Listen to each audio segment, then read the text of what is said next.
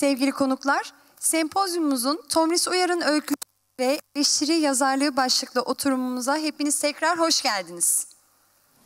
Oturumumuzun Oturumumuzun başkanlığını Sayın Pelin Aslan Ayar yürütüyor. Oturum konuşmacılarımız Sayın Bengü Vahapoğlu, Sayın Gülben Kocabıçak, Sayın Özge Şahin, Sayın Zeynep Zengin. Kendilerini sahneye davet ediyorum. E, herkese tekrar hoş geldiniz diyorum. E, Kum Tanecikleri yazarı Tomris Uyar Sempozyumu'nun bu oturumuna başlamadan önce başta e, Nülfer Kütüphanesi olmak üzere Nülfer Belediyesi'nin bütün çalışanlarına çok teşekkürler. Bu ve keyifli, verimli, altından kalkan, kalkınması zor olan organizasyonu e, en iyi şekilde başarabildikleri için kendilerini tebrik ediyorum. E, bu sempozyuma oturum başkanlığı yapmadan önce benden bir açılış konuşması e, yapmam istendi. Bunun üzerine bütün Tomris Uyar Külliyatı'nı yazın yeniden tekrar okudum. E, 11 öykü kitabını.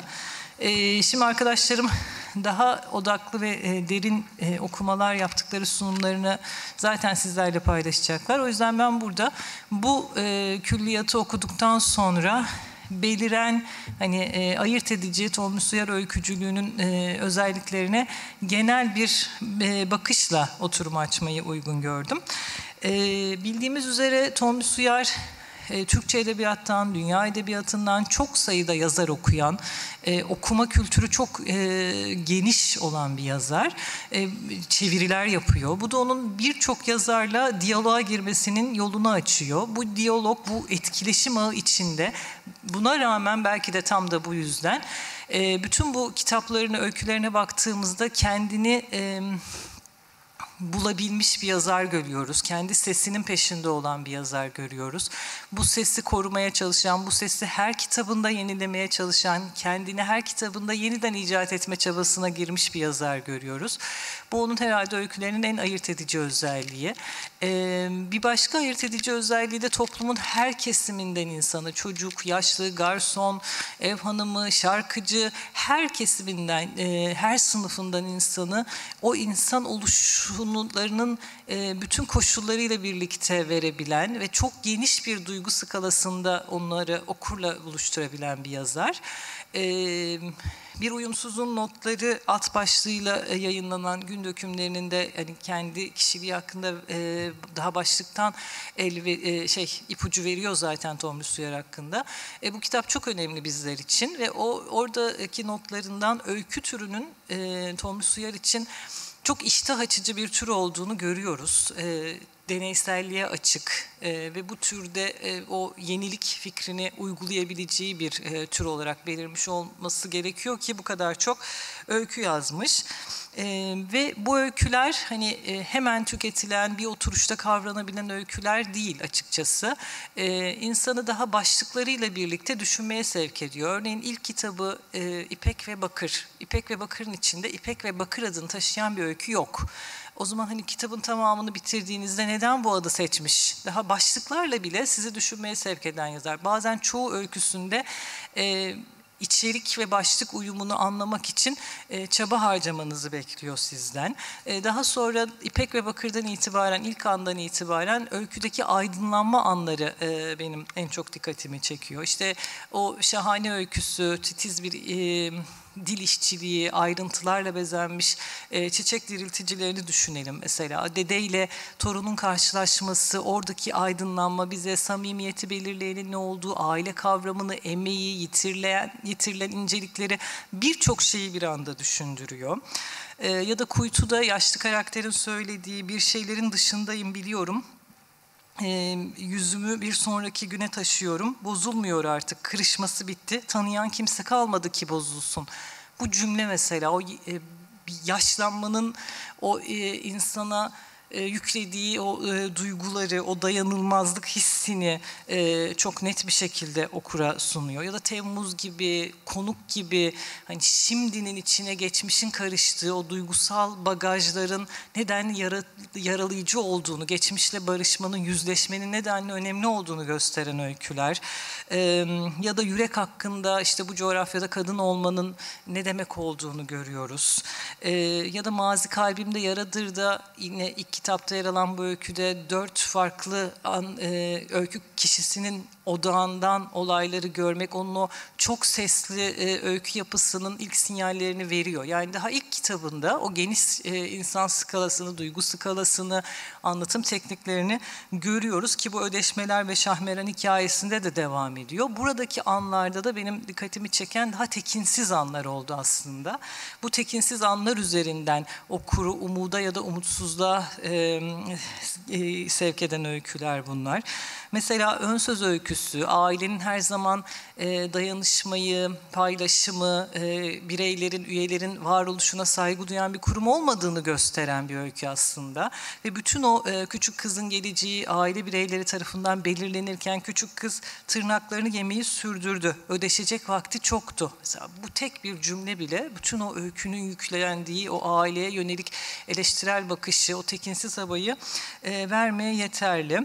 Ya da e, Bedia şey köpük hikayesinin sınıf atlamış e, üyesi Bedia'nın e, öykünün çeşitli yerlerinde birden patlayan kahkahaları ve onun yarattığı tekinsizlik anı ve bütün o düşündürdükleri. E, Yusuf ile Zeliha'da o birbirini tanımadan evlenmiş çiftin bütün öykü boyunca o kuru tetikte tutan o gergin halleri ve bu evliliğin nereye e, doğru evrileceği gibi bütün bu e, anlarla birlikte o anlarla başlayan ama çok daha genişleyen bir öykü evreni var e, Thomas Duyar'ın. Bu evreni Diz Boyu Papatyalar'da üçüncü kitabında da genişletmeye devam ediyor yazar. E, burada da... Mesela işte hakların en güzelinde madem yatıyor tarlada iş göremez bari yatakta iş tutsun. Yüzü hala güzel. Gelenden giden bize ne? diyen eniştesini öldüren adam işte ya da bir emekli albayın işlediği cinayet. Bütün bunlar bizi suç kavramı ceza kavramı e, ya da işte yaşlı bir çiftin Şenol Bayburt'taki gibi e, yoksulluktan işte kağıt üzerinde boşanarak hukuksuz, hukuksuz, hukuksuz bir şekilde e, maaşa maaş alabilmek için yaptıkları e, plan işte vicdanlı olanın adaletli olanın ne olduğunu bize düşündürmesi açısından yine çok önemli öyküler ki burada işte garsondan tırnak içinde hafif kadın Feride'ye işte sanatçılara kadar e, yine öykü kişilerin çok genişlediğini görüyoruz. E, bu genişlemenin sürdüğü yürekte bu kağı bu sefer 1970'li yılların sonunda toplumdaki o siyasal baskının sıkıştırılmışlık hissiyle dolu e, öyküler. O büyük resimde toplumsal baskılar ve bunların e, e neden olduğu e, travmalar olmakla birlikte e, Thomas Yer sıradan insanın, halkın bütün o büyük resimde nelerle uğraştığını anlatmaktan geri durmamış. Mesela süt bayındaki güllerin e, açlıktan e, sütünün gelmemesi gibi ya da işte bir aşk anısını torununu çocuğuyla paylaşan dede gibi ya da mutsuzluktan düşlerine sığınan genç bir hanım gibi. Yani toplumdaki her bireyin hikayesi Tomris Uyar'ın aslında e, ses vermek istediği e, meseleler. Bir sonraki kitabı Yaz Düşleri Düş Kışlarında adından da anlaşılıyor. İşte rüyalar giriyor işin içine, düşler giriyor, mekanlar düşselleşiyor. İşte mavi uçlarda, öte kentlerde geziyoruz e, yazarın kaleminden. Mesela oranın unutulmaz öykülerinden metal yorgunluğu ve daha birçok öykü, buradaki bu düstel öyküler bize e, düşlerin bile o toplumun baskıcı sesinden, e, yargılayıcı e, yaklaşımından, işte cinsiyet kodlarından e, e, muaf olmadığı, orada bile özgürleşemediğimiz... E, ve insanın bu trajik yönünü e, son derece etkili bir şekilde anlatan öyküler. E, toplumsal olanla düstel olanın yan yanalığı gece gecen kızlarda da devam ediyor. E, aslında Şahmeran hikayeleri hikayesiyle giriş yaptığı dünyanın o deneysel öykü anlayışının sınırlarını çok daha genişletiyor bu kitapta. Biliyorsunuz bu kitapta birçok masalla e, bazen açık, bazen daha kapalı e, göndermelerde bulunarak bir metinler arası evren kurularak e, modern hayatın içinde, gündelik hayatın içindeki meseleler e, bu evrende dillendiriliyor. İşte kadın olmak, evlenmek, sınıf atlamak yine birçok mesele hakkında bizi düşündürüyor yazar. E, yaza yolculukta... sanki Orta Doğu'da savaşlar yoktu. Sanki hiçbir yerde bir baskı rejimi kurulmamıştı. Sanki insanlar evlerinden koparılıp bilinmedik bir yerlere götürülmüyordu. Sanki işsizlik, işsizlik, açlık olgusu gözümüzün önünde değildi diyerek yine toplumsal olanı e, kişisel olanı yan yana ilerlettiği, e, yer yer gerçekçi, yer yer düstel, e, çoğunlukla modernist tekniklerle bezediği öyküler. Bütün bunlardan da şunu çıkarabiliyoruz aslında. Hani Tomris Uyar'ın öykücülüğünü bir yerde sabitlemek mümkün değil. O birçok tekniği, birçok yaklaşımı, birçok metodu aynı anda kullanan, bazı kitaplarında bunu daha yoğun, bazı kitaplarında daha geriye çekilerek yapan bir yazar hem kurgunun hem gerçekliğin parçası olduğu bir diğer kitabı 8. Günah. Yalnız hissetmek, yalnız bırakılmak, kendini kandırmak ve bunun maliyeti gibi yine birçok insana dair e, içsel meselelerimizi dillendiği bu öykülerde bazen bir mor köpek aracılığıyla, rüyalara giren mor bir köpek aracılığıyla, bazen işte e, kandırılan bir e, kadının dondurma parası üzerinden, bazen hayatta her şeyden değerli gördüğü bir erkeğin silah koleksiyonu üzerinden e, bütün bu sorgulamaları yine bize yaptıran bir kitap. E, daha sonraki 30'ların Kadını e, kitabı ise e, verili kadın tanımlarına, işte bu coğrafyada kadın olmaya, kadınlığa dair e, eleştirilerini genişlettiği, ya yer yer e, hemen hemen her öykü kitabında bu varken 30'ların kadını tamamen buna ayrılmış bir kitap. Düşsel gerçeklik, dışsal bir gerçekliğe de referans veriyor bu kitapta ve ta 1909'lar 1900'lerden 1990'lı yıllara kadar birkaç kuşak üzerinden kadın olma halleriyle, kadınlıkla, kadınlığa yüklenen anlamlarla dayatılan anlatılarla e, yüzleşiyoruz bu kitapta. Aramızdaki şey aynı şekilde temsil çeşitliliğini devam ettiriyor. Duygu skalası yine çok geniş. İşte e, açılış öyküsünde e, yasın, hüznü, e, kaybedilenin acısını derinden hissederken işte e, Lal öyküsünde radyocu Kırmızı Biber'e birbirinden e, farklı okul, okurlarca gelen mektuplarla mizah duygusuyla tanışıyoruz. Yani e, bütün duyguları bu e, hissettiren, e, yaşatan öyküler bunlar. Son öykü kitabı Güzel Yazı Defteri elbette biraz e, farklı bir yerde duruyor. Kendisinde söylediği gibi bu bir e, novella tarzında. E, burada da yine o toplumsal olayların belirlediği, işte dostluk, ihanet, aşk, e, samimiyet, bütün bu kavramlar üzerine bizi düşündüren öyküler. Sonuçta bütün öykülerde bizi düşündüren bir ton bir suyar var ama bunu asla didaktik bir tonda yapmıyor. Özgürleşmenin, özgür bir birey olabilmenin, e, insanın kendini gerçekleştirmesi için kaçınılmaz olduğunu vurgulayan öyküler bunlar. Ama bunları... E, okurdan düşünsel bir çaba gerektirerek, e, edebi kısmını hiçbir zaman dışarıda bırakmayarak, her seferinde kendi sesini daha da genişletmek, daha da yenilemek amacıyla kaleme alan e, bu kıymetli yazar hakkında ben e, böyle bir giriş yaptıktan sonra şimdi sözü değerli konuşmacımız Bengü Hanım'a bırakıyorum. Teşekkür ederim.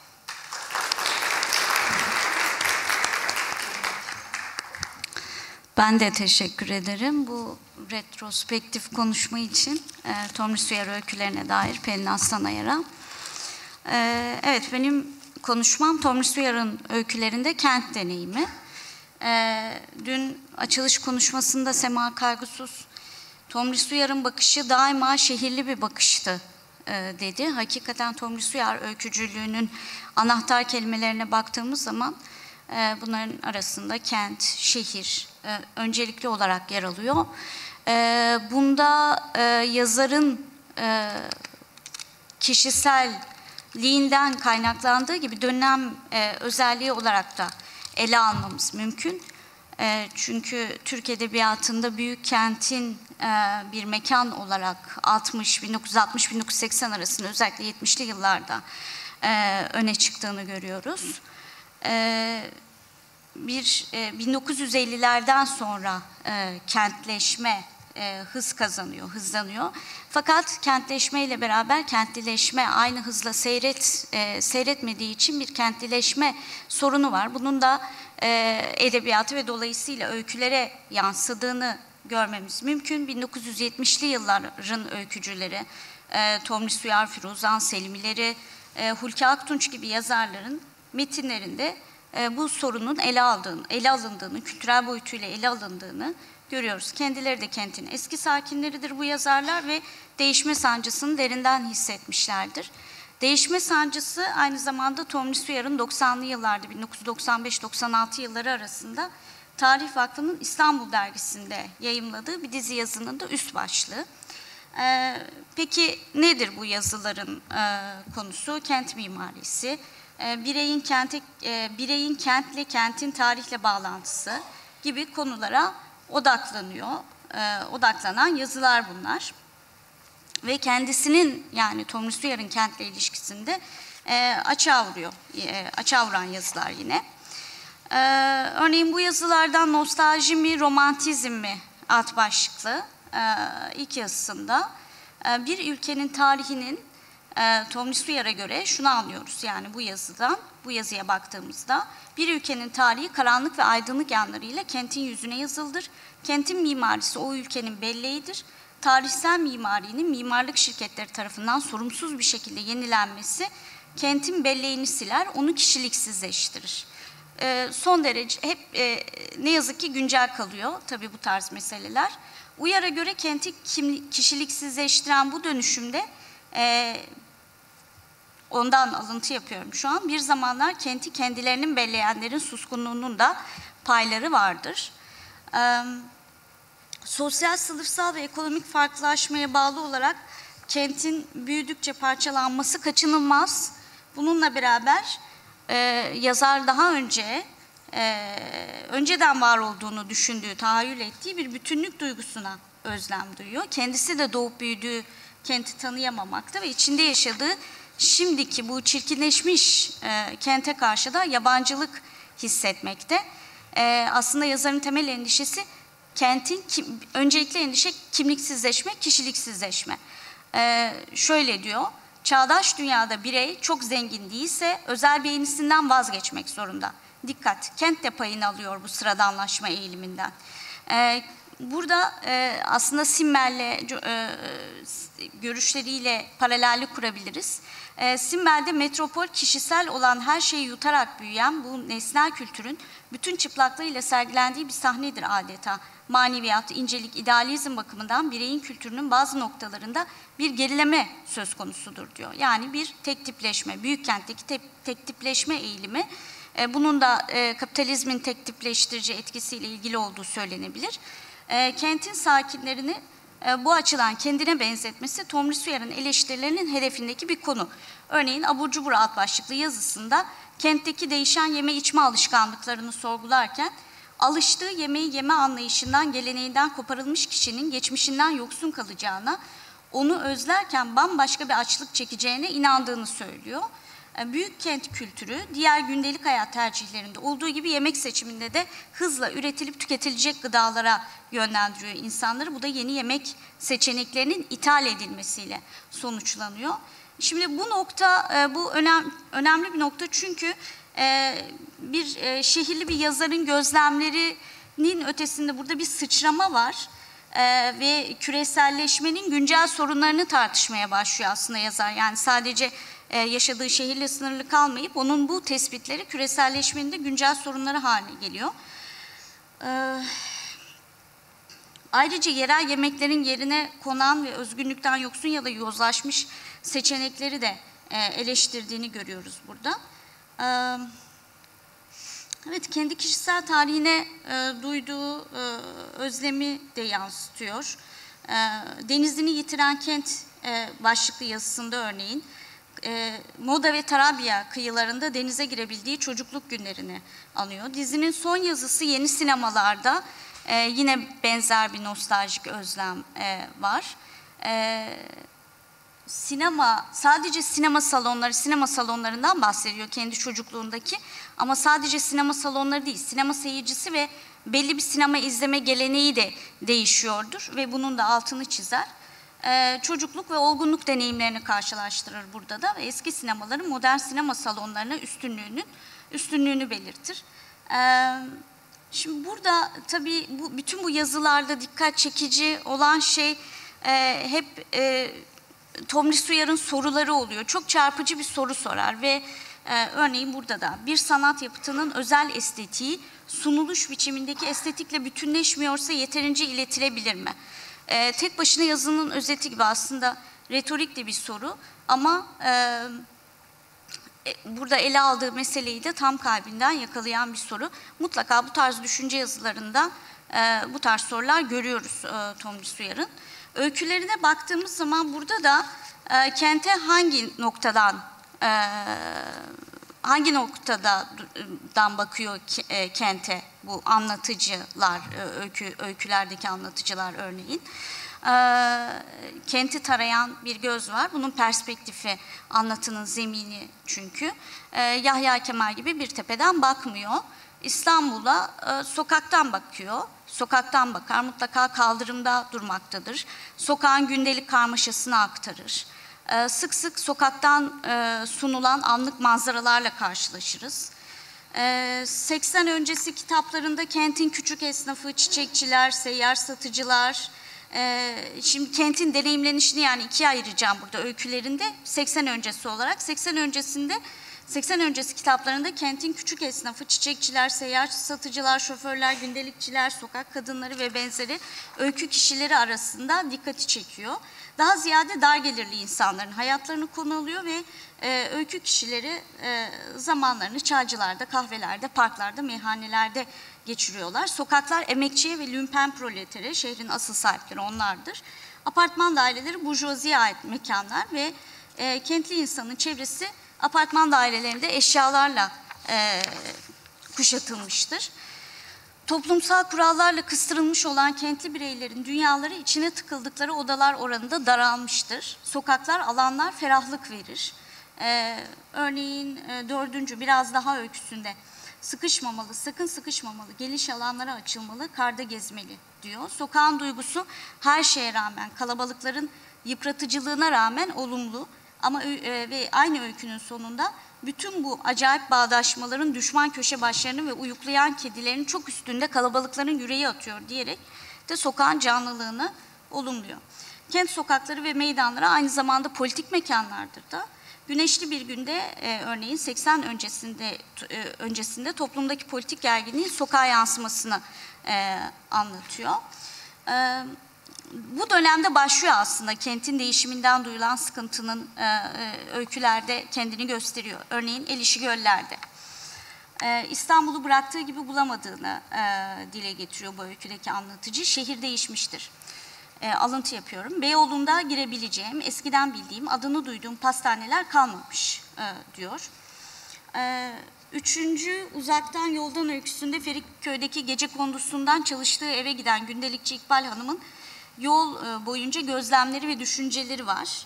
E, bir Anadolu şehriyle burada e, İstanbul gibi büyük bir şehrin sunduğu deneyimin birbirinden farklı olduğunu da görüyoruz. Yürek Hakkı öyküsünde iki deneyim kısaca karşılaştırılıyor. Burada kum saatleri güneş altında tepede, pazar günleri yemekleri erkekler pişiriyor. Kadayıf eksik değil. Uykulu bir şehir. Akşamları sofralarda konuşulmuyor. Ovasız'da köyden şehre göçmüş aile bir takım uyum sorunları yaşamakta. Şehir hayatı köydekinden ya da kasabadakinden farklı bir bilinç düzeyi, yeni alışkanlıklar, yeni tutumlar istiyor kişiden. Ancak bir alışkanlığı terk etmek de kolay değil. Eski hayatın hayaleti yeni bir hayat kurmaya çalışan aileye musallat e, olmuştur burada da. Kentte e, pratik faydanın değer görmesi de anlatıcıyı yadırgatan bir şey ve çevresine yabancılaştıran bir şey. Allı Turna öyküsündeki e, gündelikçi Gülsüm Hanım'ın da Kars'taki baba evine oradaki hayatına özlem duyduğunu görüyoruz. 80'den ee, önce yayımlanan öykülerinde bu kentin yeni sakinlerinin perspektifinden kente e, baktığını, onların uyum süreçlerini, yabancılıklarını, memleketlerini, özlemlerini, büyük kentteki yaşam mücadelelerini e, konu alırken 80'den sonraki öykülerinde kentsel dönüşüme, kentin sancılı değişimine daha fazla yer veriyor. E, bakış açısı ya burada bir e, perspektif değişikliği var gibi kadim kentin tarafından bakmaya çalışıyor bu kez de. Bayır'daki ılgım e, çok güzel bir öykü. Bu öykünün yazarı olan anlatıcı, yazar anlatıcısı bu öyküdeki e, yaşadığı mahallede yarım bırakılmış bir inşaatın hikayesinin peşine düşüyor.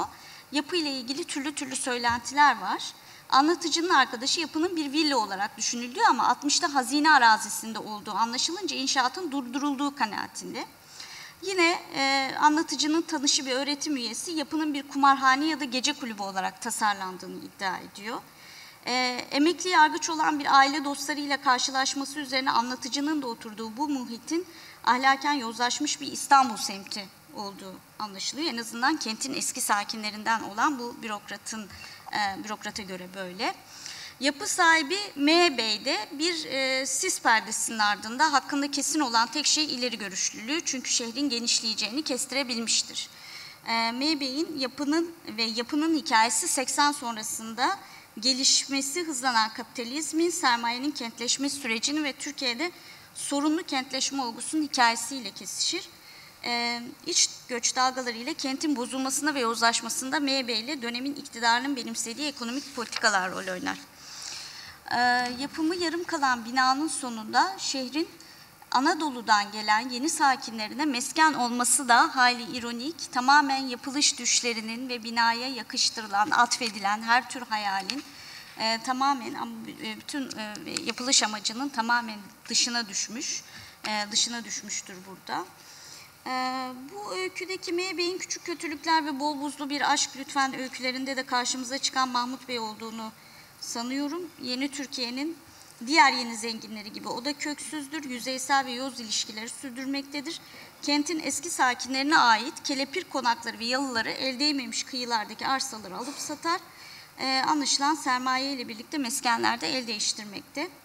E, sadece e, bu arada tabii kente şekil veren iktidarın ideolojisi, iktidarın politikaları, e, kuşluk rakısında geçen e, şu satırlara bakalım. Sokak manzaraları, sokağın sesi, e, sesinin, müziğinin değişmesine e, tanık gösterebiliriz bu satırları.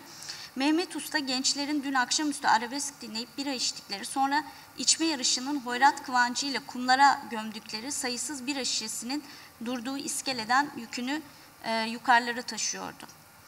E, yine böyle bir manzara, hemen bir sokak manzarası geçiyor.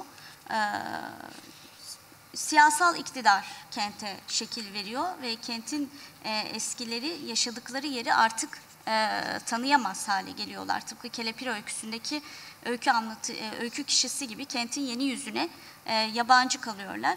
E, Taksi Bey'in burada bir alıntı yapacağım. Taksi Bey'in bilmediği bir caddede ilerliyor sanki. Çoktandır yolu düşmemişti buralara. Kocaman bir çukura dönmüş her yer. Hiçbir rengi noktası e, noktası yok. Filiz çay evinin tabelasını görür gibi oldu uzaktan. Tanımadığı bir sokakta. Cephesi yıkılmış bir yapı. Çiçek bozuğu duvarlarıyla ayakta. İskelet açıkta. Rüzgar dolaşıyor içeride.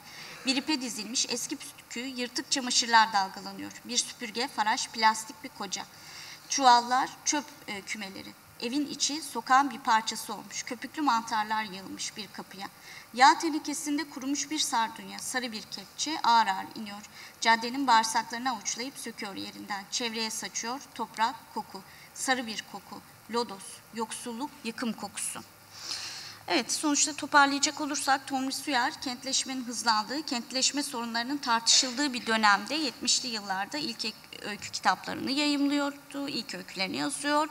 Ee, hem İstanbul'a ve kent yaşamına bağlı bir yazar olması hem de toplumsal meselelere sırtını dönmemesi, edebiyat hayatına atıldığı ilk yıllardan itibaren kentleşme ve kentleşme konularının uyarın eserlerinde yer bulmasında etkili olmuştur.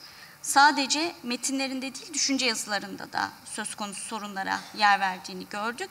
90'lı ee, yıllarda kaleme aldığı değişme sancısı yazılarından da anlaşılacağı üzere temel endişesi İstanbul gibi kadim bir kentin hem yerel hem küresel baskılar neticesinde e, yani hem içeriden hem dışarıdan baskılar neticesinde kimliksizleşmesi, kişiliksizleşmesi, e, küresel kültür kentin özgün yönlerini yutmakta, taşra kültürü ise kentin dokusunu tanınmaz hale getirmekte.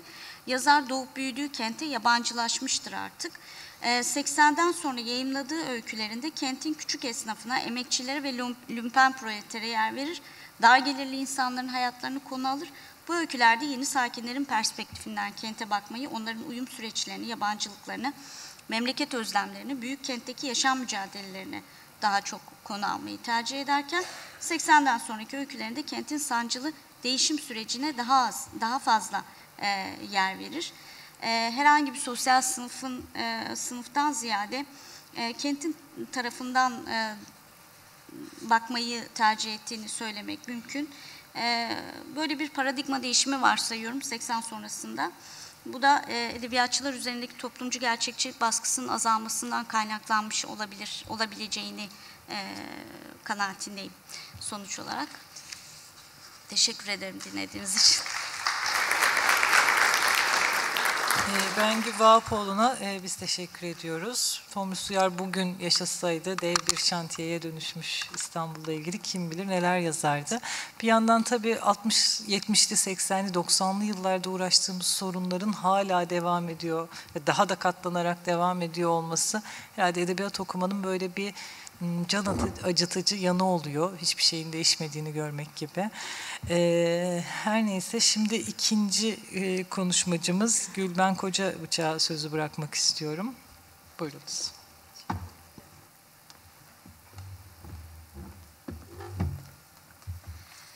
Herkese merhaba, hepiniz hoş geldiniz. Bugün ben Tomris Uyar öykücülüğünün Düş İzleri, Güzel Yazı Defterinde Toplumsal Cinsiyet Rollerinin İz Düşümü başlıklı e, yazımı sunmak için buradayım. Bir sunum hazırladım. E, çünkü ele alacağımız öykü kitabı 2002 yılında İz Düşümler, Düş İzleri dizisi içinde çıkan Güzel Yazı Defteri e, ve görseller yer aldığı için özellikle sunumu takip edebilmek açısından da kürsüde sunmayı tercih ettim. Şimdi bu sunumda bizi ne bekliyor öncelikle? E, güzel yazı defterinde toplumsal cinsiyetçi rollerin nasıl ele alındığını ve bu rollerin anlatıya ne şekilde yansıtıldığını e, ben üç adımda sizlere anlatmak istiyorum. Bu e, öykü kitabının bir özelliği var. Bu da Tom Müsüyer öykücülüğünde bir aslında diğer e, diğer on kitabında denk gelmediğimiz bir türe işaret etmesiyle alakalı. Nuvel olarak geçiyor. Nuvel türünde kaleme aldığı için Tom Müsüyer hem onun öykücülüğünü aydınlatmak adına yararlı olacaktır. Bir de tabii Pelin hocamız burada açılış, oturum açılırken çok güzel bir konuşma yaptı ve orada bütün kitaplarını aslında ifade etti ama ben toplumsal cinsiyet rolleri açısından da tek tek değineceğim ve ardından güzel yazı defterinde e, toplumsal cinsiyet rollerinin e, ne anlam ifade ettiğini e, göstermeye çalışacağım. E, geçebiliriz sunumu. Ee, şimdi öncelikli olarak hani ne ifade ediyor, Nuvel ne demek ona geçmeden önce Tomris Suyar'ın alıntısıyla başlamak istedim. Burada e, bu kitabıyla ilgili olarak kendi öykücülüğündeki yerini şu şekilde ifade ediyor. Aslında bütün öykücülüğümün özelliklerini taşıyan bir kitap. O yüzden çok uğraştım. Bir kere ilk kez bu kadar çok kişili ve uzun bir öykü yazıyorum. Kişiler, yaşamlar, karşılaşmalar ve patlayan bir şey var. Bir anlamda Türkiye'nin son 10 hatta 20 yılda geldiği nokta. Benim bütün öykü öykülerimde bir toplumsal fon vardı. Burada çok belirgin kişilerin didişmelerinde, değer yargılarının değişmesinde. Bir zamanlar idealist olan bir insanın artık para kazanmak dışında bir idealinin kalmamış olması gibi. Sonra aşk ilişkilerinin neden yürümediği üzerine akıl yürütmeler, dostluk ilişkileri var. Kendi kendime ve öykülerimde sorduğum soruları bir araya getirmiş oldum diyor Tomris Suyar. Peki o zaman biz de e, güzel yazı defterinden hareketle bir bakalım hem bu e, ifadesiyle hem de Nuvel türüyle ilgili. E, burada enteresan bir şekilde Tomris Suyar bir söyleşisinde şunu ifade ediyor Nuvel'le ilgili olarak. Her yazarın okuruna verdiği bir ödüldür. E, Tomris Uyar da son öykü kitabıyla aslında bizlere bir e, ödül vermiş oluyor. Tomris Uyar'ın bu türde bir öykü yazmasının en önemli sebeplerinden biri e, Nuvellerin anlatıda yer alan olayın ve karakterlerin tekil deneyimini okurlarına yoğun bir şekilde keşfetme fırsatı sunmasıdır. E, ve baktığınız zaman kitabın içerisinden bir e, görselle burada desteklemeye çalıştım. Geleneksel öykü yapısından oldukça farklı, öykünün sınırlarını aşan bir nuvel olarak çok detaylı kesitler içermemekle birlikte kişileri, ihanetleri, söyleyemedikleri ve her birinin geçmişinden getirdiği hikayeleriyle çok kişili bir kurguya sahip. Yani öykünün formunu aşan bir yapıya sahip uzun öykü olarak karşımıza çıkıyor. Beş kişinin etrafında bir kişinin tanıklığında gelişen olay örgüsünde karakterleri karakterlerin iç çatışmaları, toplumun baskılarına karşı geliştirdikleri savunma mekanizmaları ve insan ilişkilerinin karmaşıklığı inceleniyor. Bunun için e, bir de tabii toplumsal cinsiyet boyutu var. Burada biz e, toplumsal cinsiyet rolleri olarak neyi kastediyoruz ona bir açıklık getirmek istiyorum.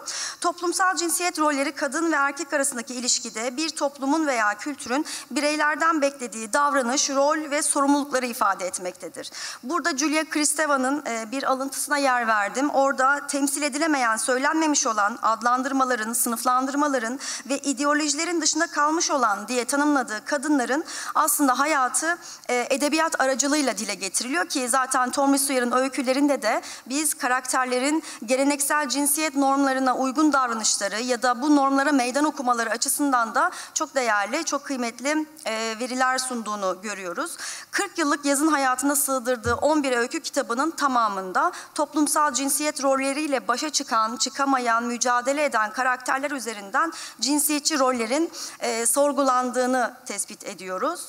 E, burada Tommy Sawyer'ın e, öykücülüğünün e, belki feminist edebiyat eleştirisi ki benim yüksek lisans tezim olduğu için buraya değinmek istedim. ilgili bir konu olduğunu düşündüğüm için. E, Tommy Sawyer hepimizin bildiği gibi e, sadece kurgusal türler arasında tek bir türde, öyküde e, ürün veren bir yazardır. Ama onun dışında tabii ki günlükleri, eleştirileri ve çevirileri e, vardır. Yaklaşık olarak 40 yıllık yazın hayatında da yenilikçi ürünler ortaya koyarken öykünün temel kavramları üzerine de muhakkak düşünmüştür. 11 öykü kitabında yer alan 101 öykünün tamamı karakter çizmekten tutun kurulan atmosfere kadar kendini yenileyen biçimsel özelliklere kadar çok derinlikli bir yapısı olduğunu görüyoruz. Her öyküde yaşadığı çağın toplumsal meselelerine değinerek büyük şehrin karmaşasına, e, bu karmaşaya sıkışan bireylerin içsel çatışmaları, köy şehir hayatının çelişkileri, gelenekselliğe sıkışan aile kurumu, insani sorunların yarattığı çıkmazları temel izlek olarak görüyoruz. Ve biçimsel olarak da hiçbir zaman e, yeniliği denemekten de asla kaçınmıyor Tomris Suyar. Erkek egemen toplumda kabul gören cinsiyetçi rolleri sadece kadına değil erkeğe yaşattığı sorunları da görmezden gelmiyor. Kendi dünya görüşü doğrultusunda da bunları eleştiriyor. Yani sadece kadınlar değildir aslında bu rollerin altında ezilenler. Aynı şekilde erkekler de çıkmaza giriyor şeklinde e, söyler. Şimdi toplamda 11 tane öykü kitabı var dedik. Birinci öykü kitabı 1971 yılında yayımlanan İpek ve Bakır kitabı.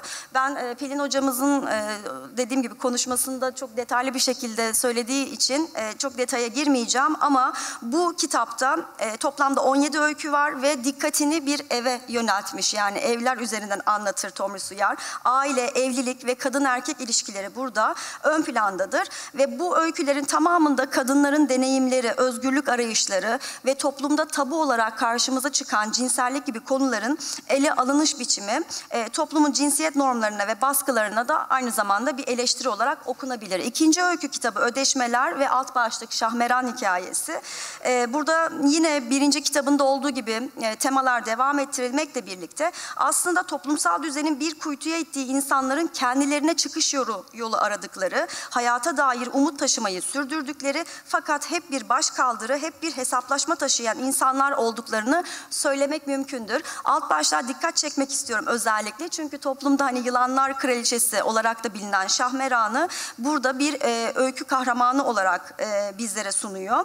Şahmeran'ın bulunup öldürülmesi sürecini aslında kadının gücü ve etkisini nasıl kullandığı, güzellik ve çekicilik yüzünden baskı altına alındığı durumlar üzerinden anlatıyor. Eski çağların bakış açısını metnin içerisinde yer alan unsurlardan görebileceğimiz gibi erkek egemenliğinin toplumsal hafızaya nasıl kazındığını göstermesi açısından da bu kitaptaki bu hikaye oldukça e, önemli. Ve üçüncü kitabı 1973 Diz Boyu Papatyalar'da yine aslında ataerkil yapının sadece kadına değil erkeğe de zarar verdiğini göstermek isteyen e, yazarın burada karakterlerine sunduğu çıkış yolu ne yazık ki toplumsal baskılarla hep kapanmış durumda. Yürekte bu kağı 1980 darbesi öncesi Türkiye'de yaşananlarla doğrudan bir ilişki kurulmasa da hep arka fonda görüyoruz zaten biz o süreci. Kadın ve erkeğin siyasi ve toplumsal değişikliklerin etkisi altında kalmaları anlatılıyor. Ya Yaz Düşleri Düş Kışları isminden de anlaşılacağı gibi daha şiirsel e, bir başlık. Burada artık Tomris Uyar'la ilgili yapılan çalışmalarda da belirtilir. Tomris Uyar'ın ikinci dönem öykücülüğü olarak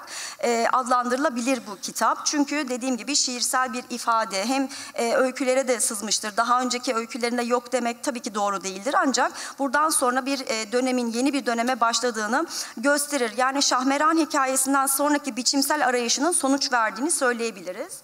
Bir diğer kitap Gece Gezen Kızlar hepimizin e, çok iyi bildiği Hansel ve Gretel, işte Pamuk Prenses ve Yedi Cüceler, Kırmızı Başlıklı Kız gibi pek çok masalın e, günümüzde yaşayan insanlarla e, aslında uyarlanması, onlara uyarlanması olarak okunabilir. Burada ironiyle kurgulandığını görüyoruz. Günümüz koşullarında yaşayan kadın karakterlerin bakış açısından yansıtılıyor olaylar. Aynı zamanda okurların da kadınların masallardaki rollerini ve temsilini gözden geçirmelerine imkan sunan metinlerdir. Ve e, Yaza Yolculuk aynı şekilde 1986 yılında yayımlanıyor. 1987 yılında Sait Faik Hikaye Armağanını kazanıyor bu kitap. Cinsiyetçi rollerle toplumsal değerlere sıkışan insanların dünyası, evlilik çıkmazları, menfaat düşkünü, arkadaş ilişkileri sarmalına sadece kadınların değil e, yine de erkeklerin de girdiği anlatılıyor. Sekizinci günah, e, burada Hristiyanlıkta yedi büyük günah yani açgözlülük, kibir, kıskançlık, miskinlik, oburluk, öfke ve tutku buraya ek olarak bir sekizinci günahı kitabın adıyla işaret ediyor. Otuzların kadını diğer e, hikayelerinden farklı olarak burada Tommy Sawyer'ın annesi Celile Girgin'in de e, bir öykü kahramanı olarak karşımıza e, çıktığı bir hikaye kitabıdır. E, ve onun gibi aynı zamanda otuzların kadını vardır kitaplar, öykü, öykülerin içerisinde. Erkek egemen toplum anlayışıyla modern hayat tarzı arasında sıkışan kadınların şartlar ne olursa olsun erkeğe bağlı olmadan yaşayabileceğini gösteren otuzların kadınları e, burada anlatılmaktadır. Ve aramızdaki şey e, yine e, burada aslında bir metaforla e, anlatmaya çalışayım. Zaten öykülerde de geçiyor. Aramızdaki şey adlı öyküsünde Berlin Duvarı gibi bir kent imgesini insanlar arasındaki şeye karşılık olarak metaforik anlamda kullanmıştır. Berlin Duvarı'nı sadece fiziksel bir engel olarak değil, bireyler arasındaki zihinsel bir sınır olarak kabul etmek ve kadın erkek ilişkilerinde duvarların olmasına, toplumsal cinsiyetçi normların ve beklentilerin neden olduğunu belirtmek ayrıca gerekir. Ve e, benim de şu anda sizlere e, anlatmak için e, hazırladığım sunumda son öykü kitabı 2002 yılında Yapı Kredi yayınlarından çıkan Güzel Yazı Defteri. Yine ödüller almış 26. Sedat Simavi Edebiyat Ödülü ve Dünya Kitap Ödülleri yılın telif kitabı e, ödülü var. Burada ele aldığı temalar insan ilişkileri, aile, çocukluk, bellek ve anılar. Beklentilerin e, insan geçmişiyle aslında kurduğu ilişkiler insanların e, bunlar üzerine bizlere düşünme fırsatı sunuyor. Burada kitapta e, kurgulanmayan tek isim İsmet. İsmet'in verdiği bir lotarya defteri söz konusu. Hikayenin merkezinde değil, arka planda hep bizi takip edecek. Hatırlamanın ve unutmanın önemini vurgulayan nostaljik bir unsur olarak. Lotarya defterinin kurgunun merkezinde olmamakla birlikte karakterler arasındaki bağlantıları güçlendirmek ve anlat, anlatıya edebi bir boyut kazandırmak gibi de önemli bir işlevi vardır. Şimdi baktığımız zaman e, Güzel Yazı Defteri'nde toplam beş e, arkadaş var ve bir grup arkadaş olarak adlandıracağım onları. Ölen arkadaşları Deniz, Deniz'in etrafında daha önce yaşamış oldukları, birlikte vakit geçirdikleri anlar ve Deniz'in e, öldürülmesinden sonraki süreç, arkadaş ilişkilerini bizlere yansıtıyor. Şöyle bir e, şey çizdim ben. Deniz bütün herkesle ilgili olduğu için en başta e, Deniz'in arkadaşları Güzin, Olcay, Bülent, Kenan e, ve Sema her birinin anlatıcı olduğunu e, görüyoruz öykü kitabının içerisinde. Bir de tanık var Güllü Hanım. Onun tanıklığında zaten Deniz'i kimin öldürdüğü ortaya çıkıyor ve diğer kişiler Ümit, orta yaşlı kadın, İsmet ve Nuriye Hanım ki o da Olcay'ın annesi. E, şimdi ilk etapta geçebiliriz sunumda. Evet, kitapta ilk tanıtılan Güzin. E, Güzin e, Kenan'la duygusal bir bağı var ancak hani evliliğe çok sıcak bakmayan bir kadın. E, Kenan da tam tersi onunla evlenmek isteyen hatta bunun için e, yeni evlerinin anahtarını elinde tutuyor öykü boyunca. E, ama e, dediğim gibi Güzin'in herhangi bir onunla evde yaşama gibi aynı evde yaşama gibi bir e, düşüncesi yok. Burada dünya görüşü farklı iki hayatın birbirine yakın gibi duran sahnelerdeki mesafesi gözler önüne seriliyor.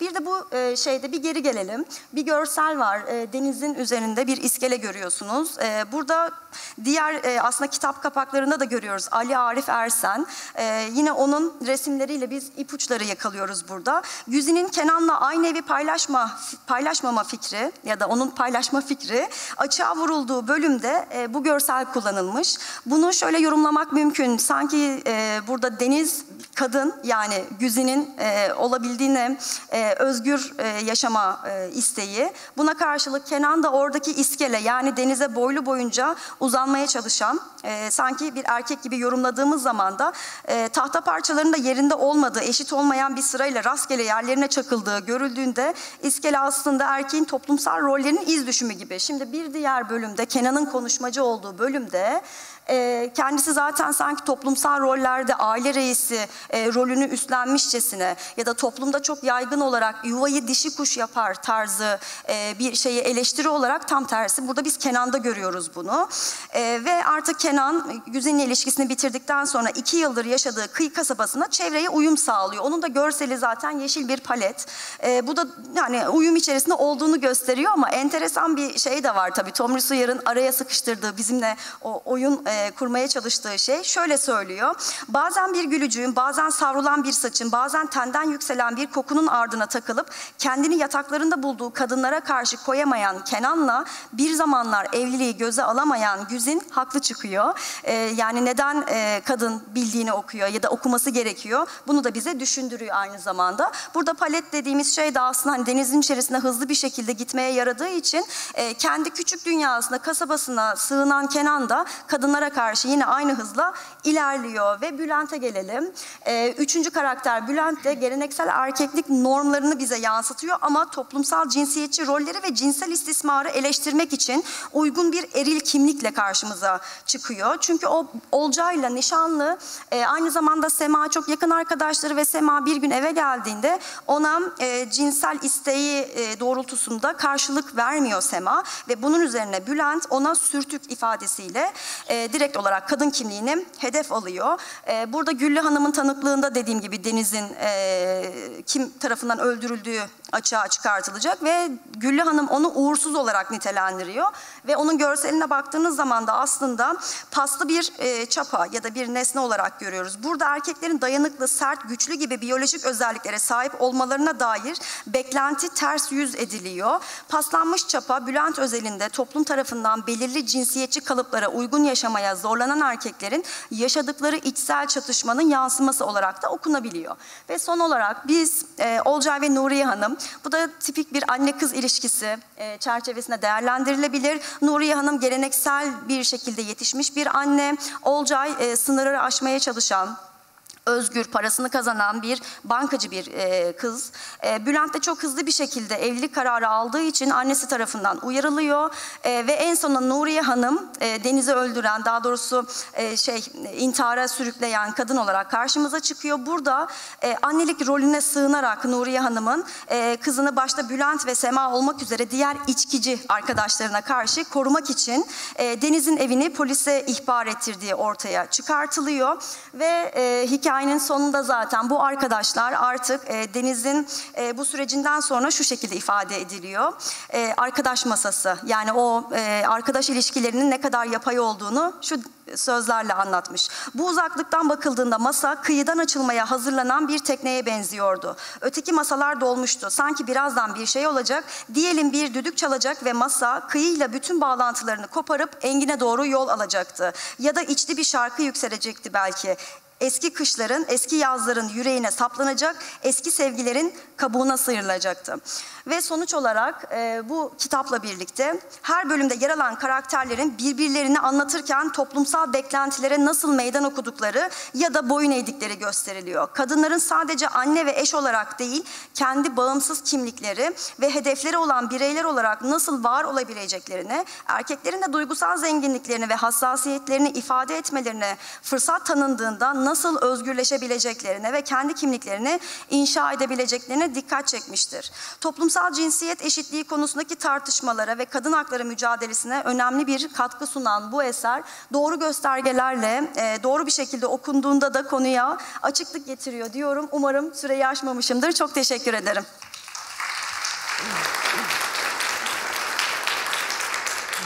Biz teşekkür ederiz. Bu arada e, önce kent sorunları sonra toplumsal cinsiyetle ilgili e, bu sunumu dinlerken dün e, Hayri e, Turgut Uyar'ın 30 yıl sonra Tomris Uyar okunur mu e, sorusu kafamda e, döndü. Belki ChatGPT ya da başka e, teknolojik gelişmelerle okuma yazma biçimleri değişecek ama herhalde insanların bu sorunları devam ettiği sürece e, bizim kendimizi anlamamız, bizi yansıtan hikayelere ihtiyacımız hiç bitmeyeceği için sanırım Tomris Uyar okunmaya hep devam edecek gibi geldi. Bunu paylaşmak istedim. Ee, şimdi sözü Özge Şahin'e bırakıyorum. Teşekkürler Pelin. Ben kişisel bir notla başlamak istiyorum. Bir önceki oturumda deprem bölgesinden bir arkadaşımız e, konuştu. Hayli etkileyici, benim için de sarsıcı bir konuşmaydı. E, ben de İlayda gibi 17 Ağustos depremini yaşamış bir depremzedeyim. 16 yaşındaydım e, çadır okullar, prefabrik okullar e, ama tıpkı Nilüfer Kütüphane'nin yaptığı gibi tabii bu kadar iyi olmasa da e, bize dokunan bazı eller olmuştu. E, iyi ki gitmişsiniz, iyi ki oralarda kalıcı e, işler yapmışsınız. Sadece bu organizasyon için değil, deprem bölgesinde yaptığınız çalışmalar için ayrıca bir teşekkür etmek istiyorum.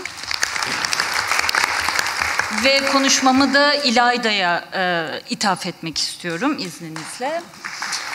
E, şimdi ben aslında Tomris Uyar'ın öykülerindeki sofra üzerine, yeme içme halleri üzerine bir e, çalışma yapmak üzere e, masaya oturdum. E, ama e, gerçekten e, çok kapsamlı bir çalışmaya doğru evrileceğini fark edince aslında onun öykülerini mutfağı olarak da gördüğü günlüklerinden e, yola çıkarak e, sofra e, ama bir yandan da onun sofra özelinde 1970'lerden 2000'lere kadar e, bir e, toplumsal cinsiyet rolleriyle baş etme biçimleri, e, ev içi hallerden kamusal alanlara kayan sofralarındaki pozisyonları, pratikleri üzerinden bir konuşma yapacağım. Evet. E, Tomris Uyar'ın deneme eleştiri yazılarının ve günlüklerinin onun öykülerini anlamaya, yorumlamaya e, olanak verdiğini her zaman düşünüyorum.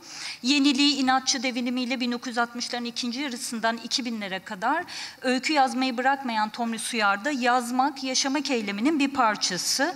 Ahmet Cemi, e, Cem, e, Cemal'in 2009 yılında onunla ilgili yazdığı bir yazıda e, vurguladığı gibi yaşadıkları gerçekten de kendisinin ve kendinden kılabildikleriydi. Hayatın diyalog kurmadığı, kurmak istemediği, kurmayı kendine yakıştıramadığı bölümlerini yaşamadı.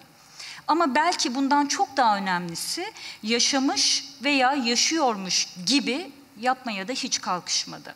Yaşamının her evresinde üretkenliğini sürdürmüş, yaratıcılığını diri tutmayı başarmış bir yazar Tomris Uyar. Bu yüzden dirim sözcüğünün onu açıklamak için çok elverişli bir e, sözcük olduğunu düşünüyorum.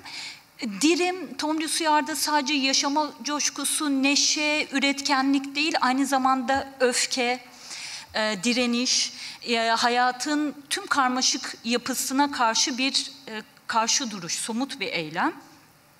Dolayısıyla onun dirimini sert, hırpalayan, dönüştüren, bireyi dönüştüren, e, sorumluluk alanı geniş bir e, tavır olarak görüyorum. Söz gelimi Tomris Uyar bir manzaraya bakıp asla içlenmez, bir daha geri gelmeyecek zamanları nostaljik olarak asla dönmez ama tarih bilincini önemser, değerleri ve ilkeleri yaşamına yön veren dirimselliği de ayakta tutar. Tomris Uyar'ın anlatmayı sevdiği dirim eylemlerinin başında da insanlarla bir sofra etrafında bir araya gelmek, yaşamı paylaşmak gelir. Bu paylaşma anına eşlik eden sofra hem Tomris Uyar'ın günlüklerinde hem de denemelerinde ve öykülerinde sıkça da karşımıza çıkar. Sofra sadece kişilerin bir araya geldiği bir buluşma anını değil, kolektif bir yaşama kültürünü de tanımlar. Bu kültür zaman zaman toplumsal cinsiyet rollerine itirazlara neden olsa da Tom Rissier için keyifli ve dirimsel bir eylemdir. Dolayısıyla da Tommy Suyar'ın sofrası aynı zamanda bir yazı masasıdır da çalışma odası kadar orayı önemser. Her şeyden önce de Tommy Suyarcı bir kimliğe sahiptir. Her eyleminde olduğu gibi sofrası da ona özgüdür. 22 Eylül 1975 tarihli günlüğünde kendi kişiliğiyle mutfağın düzenlenmesi arasında doğrudan bir bağ kurduğunu da görüyoruz.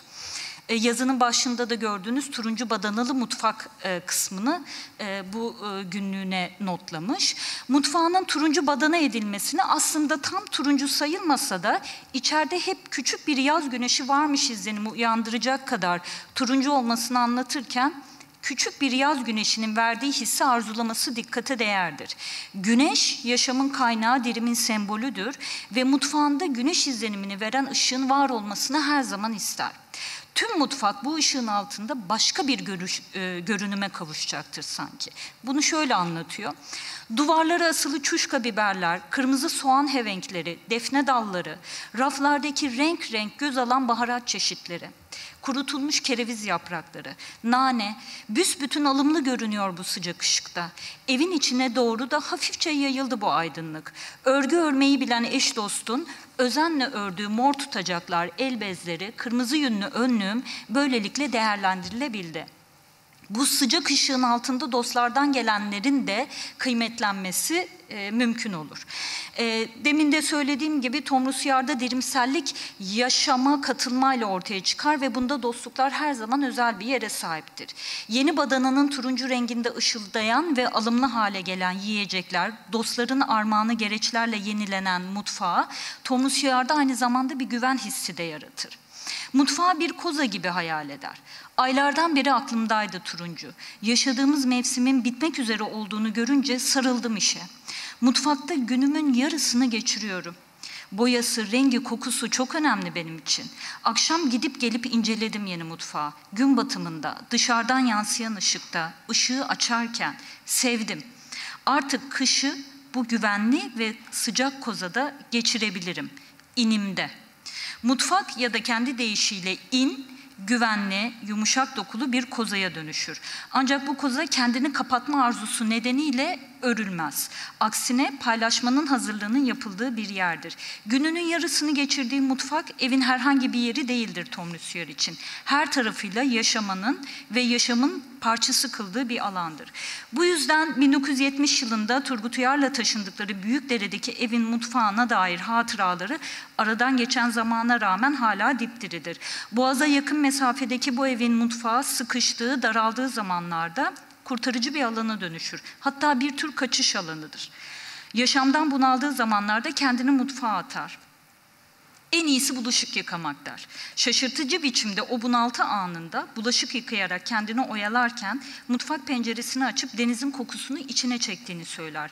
Bunalma, kendini işe verme ve denizin kokusuyla kendine gelme peş peşe anlatılır. Mutfağın denizin kokusunu getiren penceresi de ferahlamaya açılır. Yine aynı pencereden görkemli yıldızlarıyla güz göğünü görür.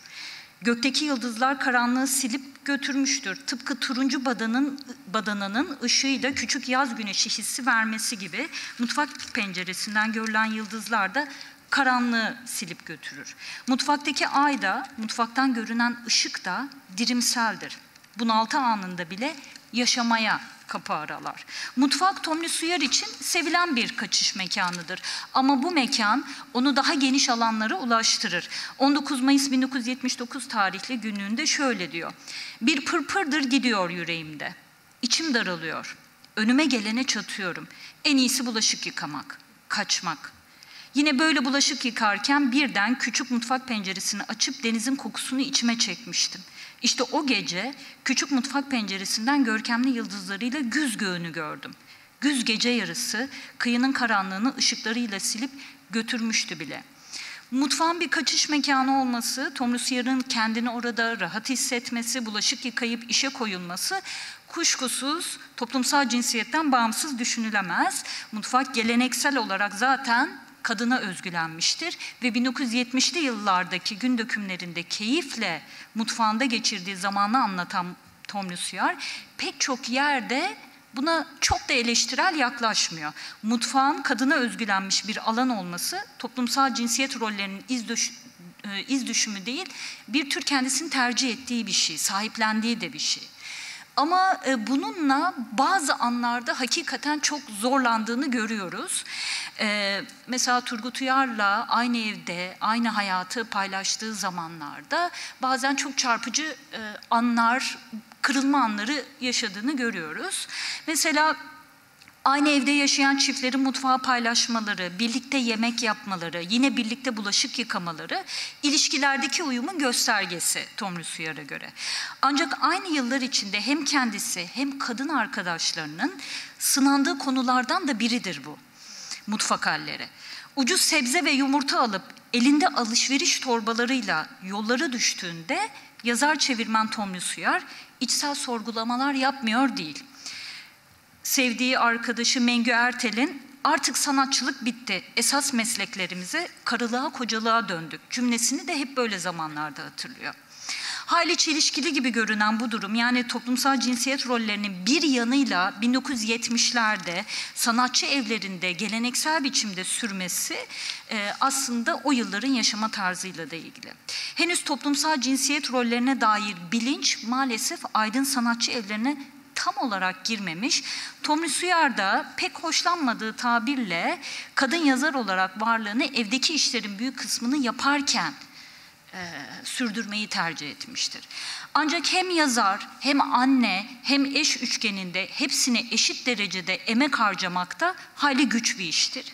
Ve bu güçlüğü 1975 yılının 27 Mart e, tarihli gün dökümüne çarpıcı bir olayla şöyle aktarıyor.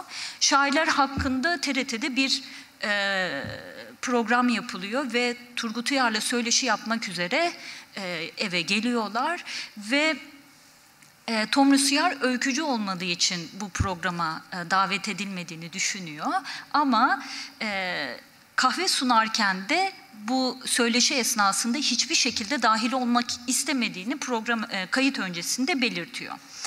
Tomris Uyar'ın sadece Turgut Uyar'ın karısı olarak görülmeyi istememesi anlaşılırdır. Ama Tomris Uyar olayı bu açıdan yorumlamaz. Aksine kahve sunan kadın olarak görünmek istememesinin garip bir duruma yol açtığını düşünür. Rahatsızlığının nedeni kahve sunmasının teklif edilmesi değil, kendisinin en başta bunu reddetmesidir. Şöyle der, gün boyu aydın kadın, kadın tavrı takınmakla suçladım kendime. Ne var ki programda görünsem daha da mutsuz olacaktım. Suçlamamın nedeni belli aslında. Evi toplamaya, yemek yapmaya, çocukla uğraşmaya, öyküye ayırdığım zamanın birkaç katını ayırıyorum bir kere. Bugün ev içi emek dediğimiz kavram o dönemde olmadığı gibi Tomris Uyar da bu görünmeyen emeğe o yıllarda 70'lerde pek itiraz etmiyor. Aksine bu emeği harcamasına rağmen sanki böyle yapmıyormuş gibi davrandı, kahve sunan eş olarak görünmekten çekindiği için de kendini suçluyor. Belli ki hayatı ile imgesi arasında bir fark yaratmaya çalışması Tomris Uyar'ı rahatsız etmektedir. Henüz görünmeyen ev içi emeği üstlenmesine itirazı yoktur. Kahve sunan eş gibi görünmek istememe ancak bunun sahici gelmemesi Tom Lucy'yi rahatsız eder ve tam olarak neye kızdığından emin değil gibidir. Meseleyi yazmak için zaman ayırmaya, gecikmiş bir amatör olmasına getirse de bir türlü açık biçimde rahatsızlığının kaynağını bulamaz. Nihayet her neyse der. Kendimle barışık değilim bugün. Bir yazar olarak değil, kahve sunan eş gibi görünme meselesini kendini suçlayarak çözer. Bir kadın bir erkeğin çamaşırını yıkıyorsa, yemeğini pişiriyor, evini ev ediyorsa mutlaka onun dünyasının bir parçasıdır. Bunu gizlemek çoraklıktır. Ünlü bir şairin eşi ama aynı zamanda önemli bir öykücü olmanın yarattığı gerilimi ev içi emeği sahiplenerek sonlandırıyor Tomris Uyar. İfade edemediği bu rahatsızlık e, ve e, daha sonra da bunu gizleme çabası bir yandan da ona iki yüzlüce geliyor. Bugün dökümünü bitirirken huzursuzluğuna başka gerekçeler de bulmaya çalışıyor. Kaçındığım şey sanırım televizyonda kusursuz, mutlu, burjuva aile propagandası havasında belireceğiydi evcek yaşadığımız olağan durumun. Bir de her fotoğrafa kafasını uzatan durumuna düşmek. Bu huzursuzluğun gerçek nedenini 1980'lerde bulduğunu, kendince bir çözüme kavuşturduğunu görüyoruz e, Tomris Uyar'ın. 70'lerde mutfağını in olarak gören Tomris Uyar, henüz gece gezen kızları yazan yazar değildir. Ancak yine de onun toplumsal rollerden bir haber olduğu söylenemez. 70'lerin içindeki bir özne olarak dönemin eğilimleriyle kişiliği de şekillenmektedir. Turuncu badanalı mutfağın saçtığı ışık onu mutlu eder ama ünlü şairle söyleşi yapılırken mutfağa gidip gelen kahve sunan eş olmaktan da rahatsızdır. 1980'lere gelindiğinde bu rahatsızlık daha belirgin hale gelecektir. 80'lerde Tomris Uyar'ın gün dökümlerinde mutfaktan kamusal bir mekan olarak meyhaneye geçilecek hem de öykülerindeki kadınların toplumsal roller konusundaki bilinci daha görünür hale gelecektir.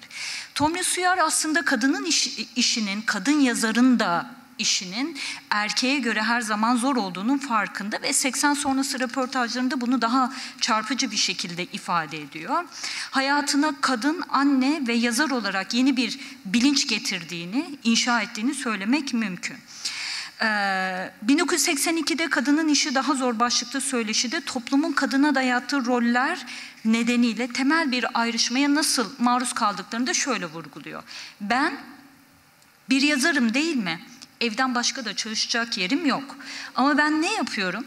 Ev işlerinde iş bölümüne nedenle inansam da ne bulaşığı, ne yemeği, ne çamaşırı kimselere bırakmamak için neredeyse inatlaşıyorum.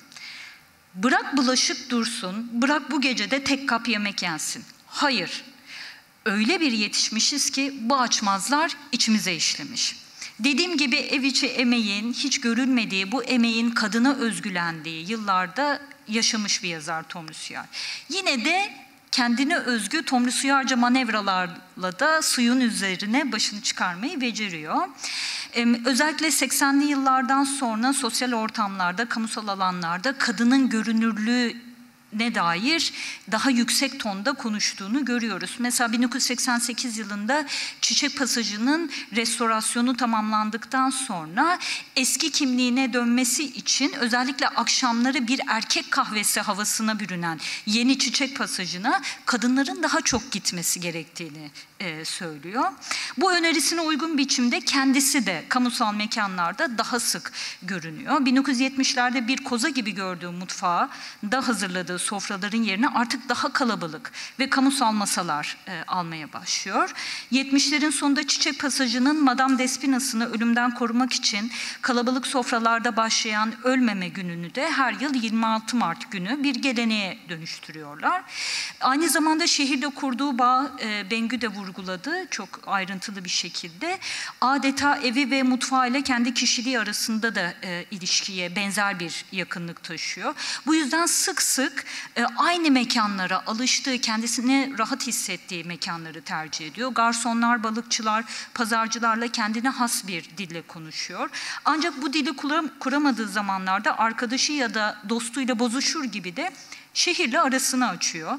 Barlarında, kafelerinde, çarşılarında yapay bir ağırlamayla karşılaştığında balık pazarına gitmeyi, Kabataş'ta çay içmeyi, Boğaz yolunda yürüyüp sigara tellendirmeyi daha çok tercih ediyor. E, ister turuncu badanalı mutfakta hazırlanmış, ister Beyoğlu'nda bir meyhanede kurulmuş olsun. Tomris Uyar deyince akla sofranın gelmesi hakikaten rastlantı değil. Bunu çarpıcı bir biçimde Feride Çiçekoğlu'nun Tomris Uyar'ı anlatma biçiminde de görmek mümkün. E, Çiçekoğlu e, 2009 yılında onu tanıyıp da üzerine yazmanın güçlüğünü bilen biri olarak sadece paylaştıkları sofralardan bahsetmeyi tercih ediyor kısacık yazısında.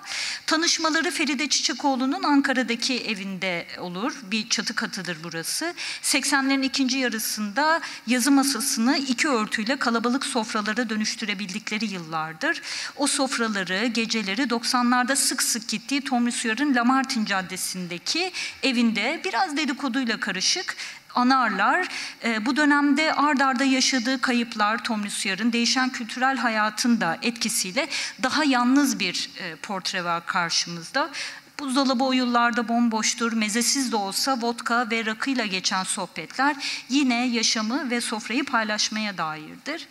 Tomris Uyar'ın kozasının yakınında ya da kamusal mekanda kurulan sofralarına bakıldığında Döneme göre değişen farklılıklar olsa da her zaman aynı yaşama iştahıyla ve dirimsellikle e, orada bir Tomris Uyar olduğunu görüyoruz. E, öykülerinin çoğunu mutfağında ya da oturduğu sofralarda kurgulayan Tomris Uyar'ın öykülerinde de mutfak ve sofra başta da dediğim gibi özel bir yere sahip. Özellikle İlk dönem öykülerinde mesela İpek ve Bakır'da, Yürekte bu kağıda e, sınıfsal farkları anlatmak için de sofraya başvurduğunu görüyoruz. Mesela e, şey e, İpek ve Bakır'da e, notlarıma bakayım Kuytu'da öyküsü, e, işte mesela sonra e, Kuskus öyküsünde de görüyoruz bunu. Ya da çiçek dirilticilerinde işte sınıfsal farkla mesela daha çok yoksul kesimin bereketli sofralarını olumladığını görüyoruz. E, son olarak ben e, Tomris Uyar'ın sözleriyle bitireyim. Onun çok alıntılanan ve doğru alıntılanan bir cümlesi. Ve öykülerinde nedenle yaşamsal bir e, yeri de olduğunu görüyoruz bu hallerin. Şeytan diyor ki çek kapıyı ya da ne bileyim evdeki bütün patlıcanları kızart gitsin. Düşünme. Çok teşekkürler.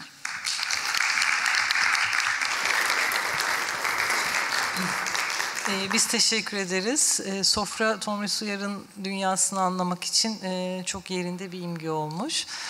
Evet e, ama daha en başından o hani geleneksel mutfağa bu kadar hem yaşamsal hem yazınsal enerjiyi bulma aracı olarak bakması etkileyici. Bir de e, Özge'nin konuşmasını dinlerken e, şair eşleriyle yapılan bir söyleşi kitabı var. Gezindim boş odalarda diye. Ahmet Muhip Duranas'tan işte Behçet Necatigil'e, Cemal Süreyya'dan Atilla İlhan'a kadar pek çok şairin eşleriyle görüşmeler yapılıyor ve böyle hani bir erkek egemen bir edebiyat dünyasında bir şair eşi olmanın ne demek olduğu üzerine düşündüren bir kitap. Ee, senin verdiğin örnekte de e, Tomris Suyar'ın o yüzleşme, kabullenme, reddetme, bütün o e, halleri, bütün bu hani teoriyle pratiğin uyuşmasının ne kadar zor olduğunu bir kez daha hatırlatması açısından bir de o kitabı da okuduğumuzda aslında Tomris Uyar'ın bu meseleye e, çok dürüst bir yerden bakmasını, e, baktığını göstermesi açısından böyle karşılaştırmalı bir okuma yapmak için e, tavsiye edebilirim. E, güzel bir kitaptır, e, Söyleşiler kitabı. Şimdi e, son konuşmamız konuşma için e, Zeynep Zengin'e sözü bırakıyorum. Evet, teşekkürler Pelin. E, merhaba. Ee, yazının iki yakasında başlıklı konuşmamda okur ve eleştirmen olarak Tomris Uyar'a e, değineceğim. Tomris Uyar'ın e, edebi hayatında biz başta okurluk olmak üzere çevirmenlik, yazarlık ve eleştirmenlik gibi farklı kimliklerden bahsediyoruz. E, ben de bu konuşmamda Tomris Uyar'ın eleştiri anlayışını bu kimliklerden yola çıkarak açıklamaya ve bu sayede özellikle de özellikle kendisinin de üzerine çokça düşündüğü okur yazarlık hallerinin onun edebi kişiliğinin oluşumundaki etkilerini tespit etmeye çalışacağım. E, Tommy Sawyer her şeyden önce iyi bir okur ve bunun yanı sıra yazarın görevi, okurun beklentisi, çevirinin imkanları ve iyi bir eleştirinin nitelikleri üzerine düşünen bir yazardır.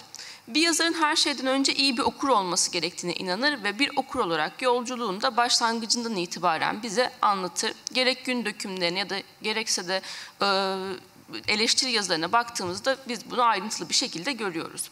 Örneğin ilkokul 5. sınıfın yazındayken sistemli bir biçimde Dostoyevski ve Reşat Nuri okuduğunu anımsar. Geriye dönüp unutamadığı kitapları düşündüğünde okurluk deneyiminin yıllar içinde nasıl değiştiğini de görür.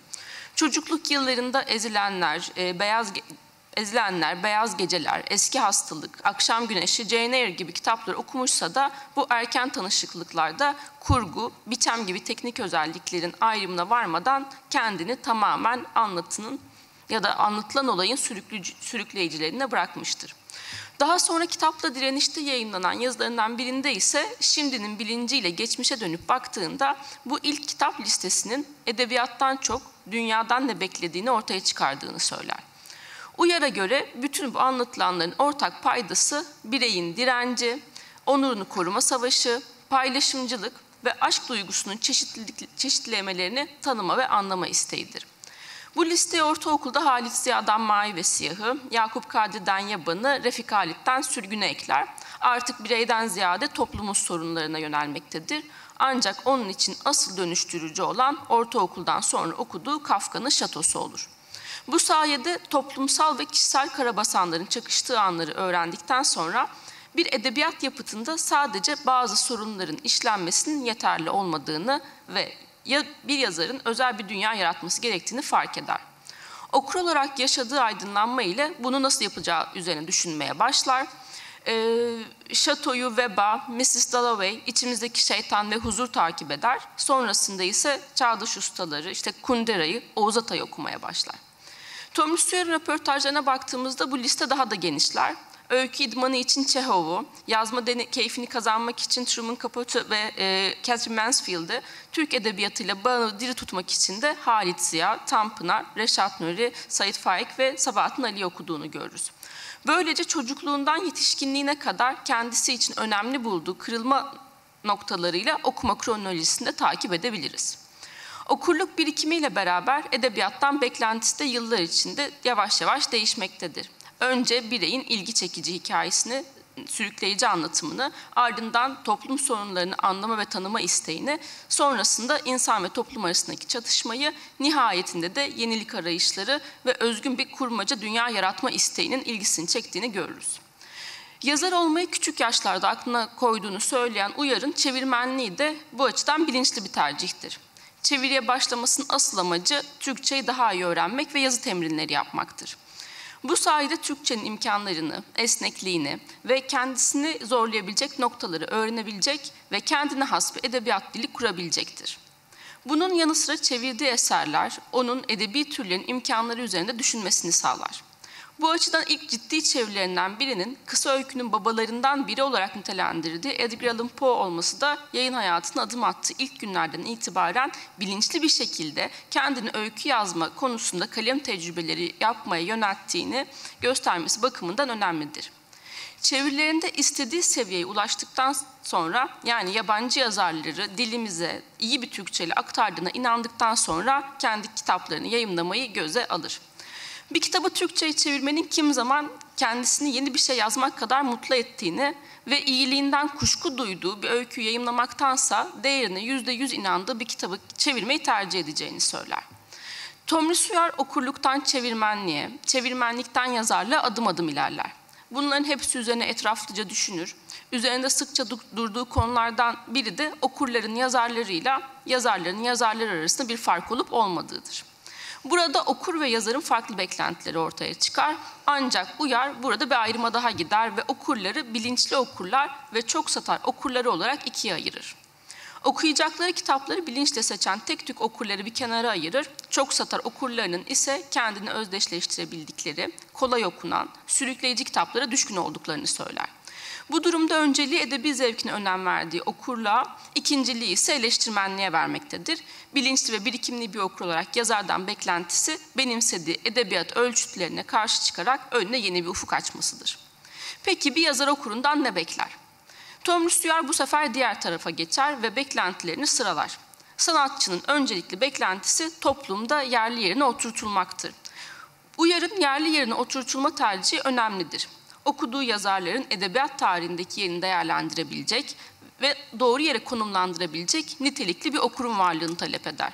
Okurun yazdıklarını gerekçesiz sevmesinden ziyade onu anlamasını ister. Ancak yazar kendisini bu okur kitlesinin dışında görmemelidir. Burada birbirinden kesin çizgilerle ayrılan iki taraf yoktur.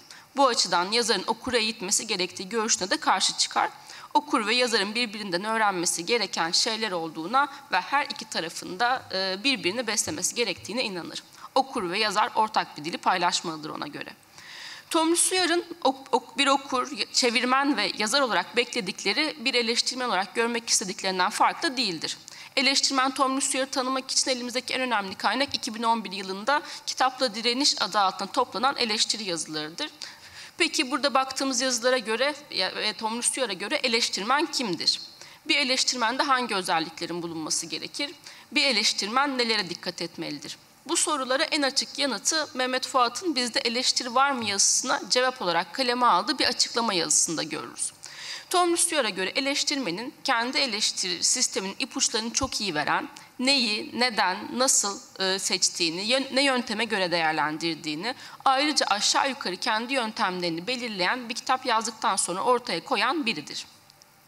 Burada ilk e, çizgi eleştirmenle kitap, kitap tanıtıcılar arasında çizilir. Kitap tanıtım yazılarını gerekli görmekle beraber nitelikli bir eleştiriyle arasındaki farkları dikkat çeker. Kitap tanıtım yazılarını okur ve yazar arasındaki ilk adım olarak görür. Nitelikli bir eleştirmenin eleştirmen bir sistem oturtmalı. Yani neyi, neden, nasıl seçtiğini ve ne yönteme göre değerlendiğini bilmelidir. Bu konuda da eleştirmenden bir tutarlılık bekler. Yani eleştirmen birbirinden farklı iki yazarı nasıl beğenebilir? Ona göre iyi bir romanda, öyküde ya da şiirde ne olmalıdır? E, bütün bu soruların bir cevabı olmasını ister. Bir eleştirmenin bir yazarı, bir eseri neden sevdiği ya da sevmediğini söylemesi yeterli değildir. E, bu eserleri hangi kriterlere göre değerlendirdiği en önemli sorudur. Eğer eleştirmen onun zevkine, yargılarına güvenmemizi istiyorsa, e, ona inanmamızı bekliyorsa bize bu kriterleri vermeli ve yazılarında kişiye göre değişen değil, herkese eşit mesafede bir tutum sergilemelidir. Eleştirmenin okura karşı sorumluluklarından biri de öz eleştiri yapabilmesidir. Bir eleştirmenin belli kriterlere sahip olması tutarlılık açısından önemli olmakla beraber eleştirmenlerin yanıldıklarını anlayınca bunu dile getirebilmeleri de gerekir. Uyar bu açıdan zaman zaman ödül eleştiri de yapar. Bunun en çarpıcı örneğini 1981 Yazko Şiir Büyük Ödülü'nde çocukluk, saflık, duygusallık gibi pek yüz vermediğimiz özellikleri ustaca gün ışığına çıkarması nedeniyle oy verdiği İsmail Uyaroğlu'nun yıllar içinde Behçet Necatigil duyarlılığından Necip Fazıl Kısakürek beddualarına geçmesinden duyduğu şaşkınlığı ifade ettiği yazısında görürüz. Uyar'ın bir jüri üyesi olarak Uyaroğlu'nun yıllar içindeki değişiminden mesul olmayacağı açıktır. Söz konusu tarihte o şiirlere oy verdiği için pişman da değildir. Ancak bir açıklama ihtiyacı duyar ve yazısını şu cümleyle bitirir. O günlerde verilen oylar böyle şiirlerin yazılmasına az da olsa katkıda bulunmuşsa şiir severlerden özür dilerim.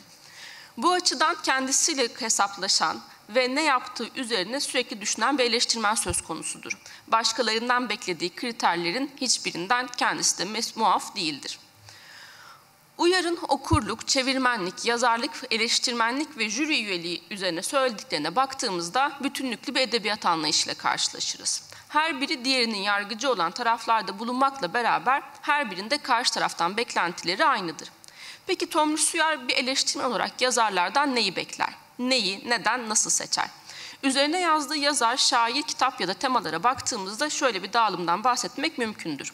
Kaleme aldığı yazıların büyük bir çoğunluğu Türk Edebiyatı ile ilgilidir. Ele aldığı isimler arasında Oktay Rıfat, Erhan Bener, Edip Cansever, Yakup Kadri, e, Gülten Akın, Dranas, İlhan Berk, Selçuk Baran, Turgut Uyar, Esendal, Leyla Erbil, e, Füsun Katlı, Reşat Nuri, Sevgi Soysal, Melih Cevdet Anday, Orhan Kemal, Nezihe Meriç, Mehmet Fuat'ı sayabiliriz. Tabi bu liste çok daha uzun.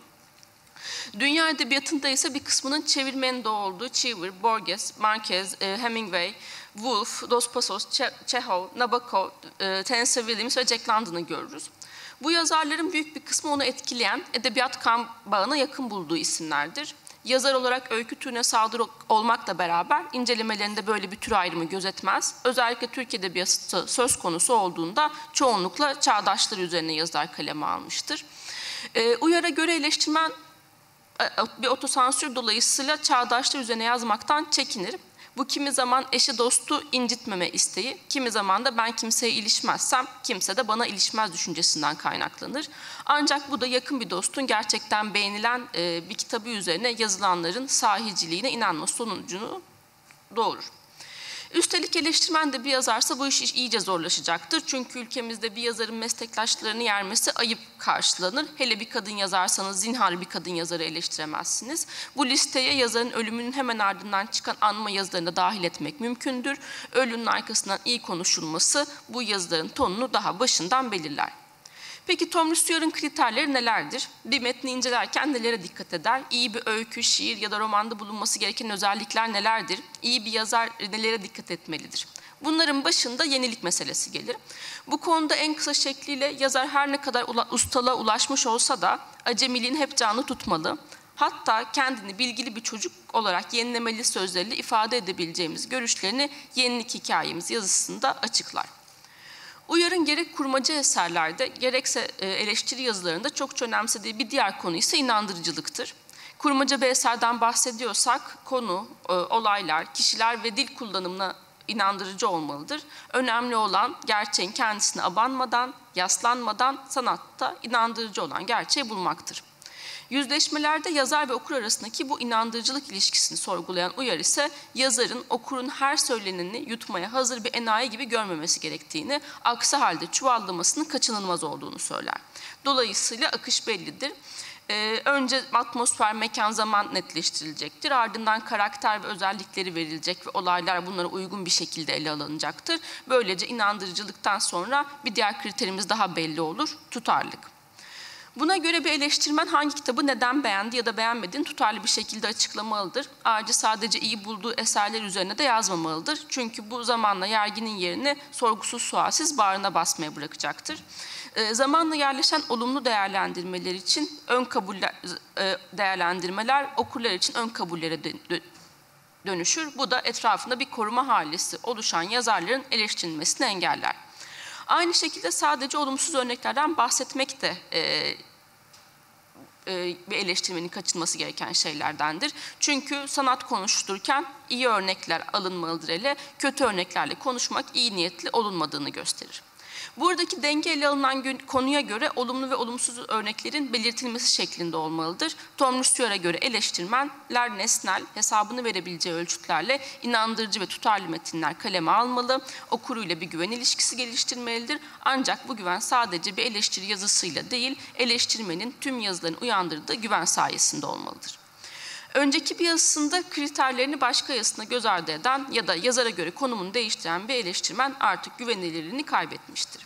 Bütün bunlara baktığımızda Uyar'ın kendi eleştiri sisteminin ipuçlarını çok iyi veren, neyi, neden, nasıl seçtiği, ne yönteme göre değerlendiğini açıkça ortaya koyan bir eleştirmen olduğunu söyleyebiliriz. Yaklaşık 40 yıllık bir zaman diliminde kaleme aldığı eleştiri yazılarına baktığımızda ise bu güvenilirliğini kaybetmeden aynı tutarlı devam ettirdiğini görürüz.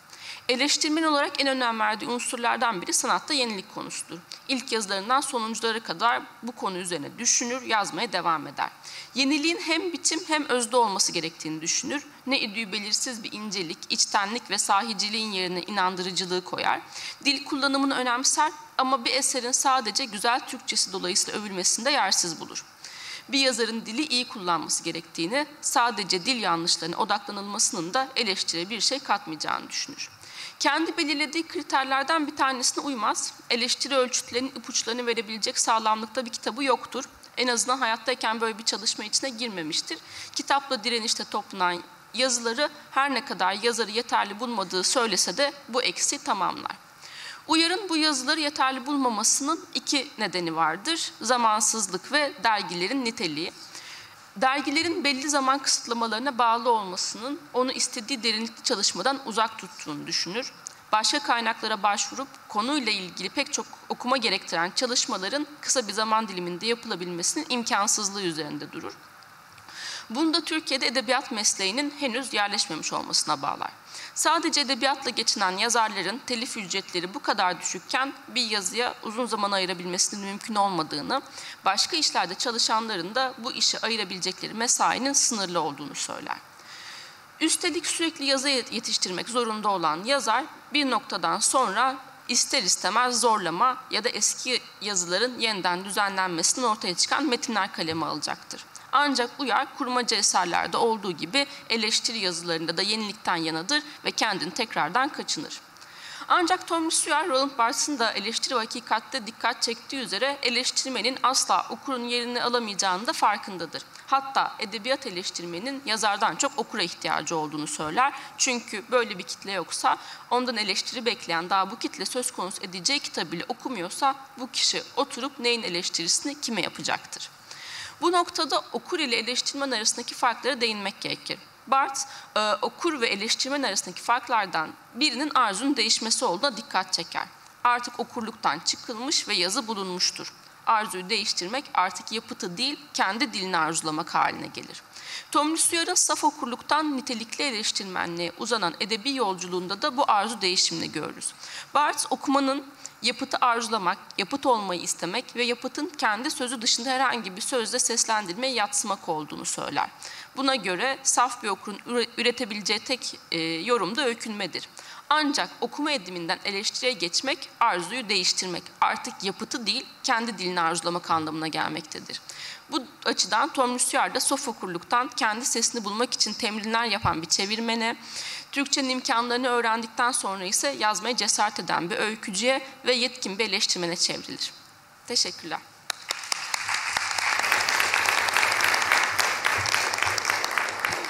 Ee, Biz teşekkür ederiz. Ee, Böylece Tomris Uyar'ın e, okurluk, yazarlık, eleştirmenlik çok sayıda e, mesele hakkında çok derin düşünen ve çözümler bulmaya çalışan bir yazar olduğunu bir kez daha hatırladık.